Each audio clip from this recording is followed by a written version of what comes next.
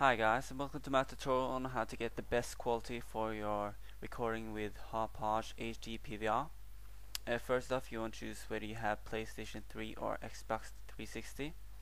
The Xbox saves the format as MP4 and the PlayStation 3 to M2TS. Uh, then choose where you want to save it.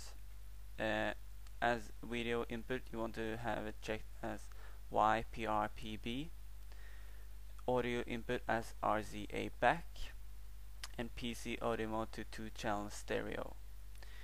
Then go to the device settings. Uh, you can just leave those as they are.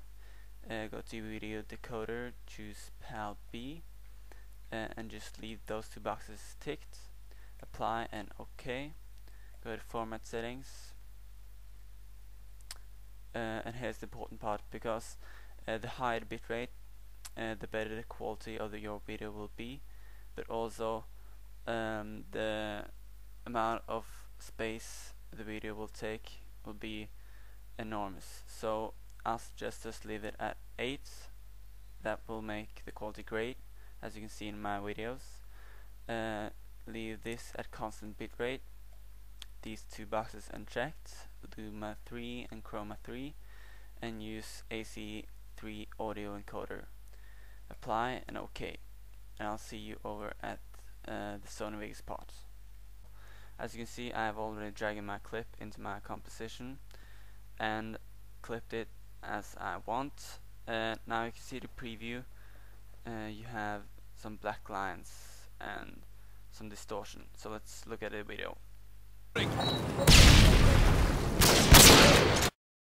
As you can see you don't want that upload to YouTube uh, let's get rid of those black lines. You just click event pan crop. Click one corner and drag it in until you get rid of those black lines. I've already saved a preset which I call HD PVR and uh, that makes the black lines go away. Then you want this distortion away as well. And just right click go to properties and disable resample. And look at this. So already the video looks quite good. We could take a look at it.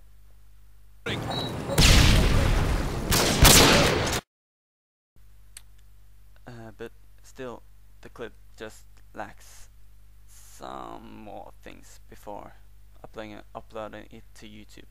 So we're gonna go to video effects. Choose brightness and contrast I've already saved a preset which I call montage. Just add it to your clip or to your whole track uh, and copy these settings. Then go down to color corrector secondary. I've also saved a preset and just copy these set settings. Then add saturation saturation adjust. Copy these settings.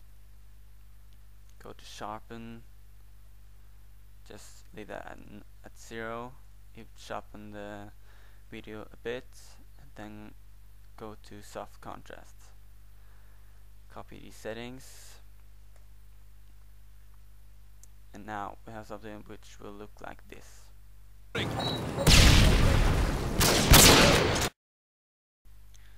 as you can see the video looks good already and then you want to save the video with the best uh, possible quality.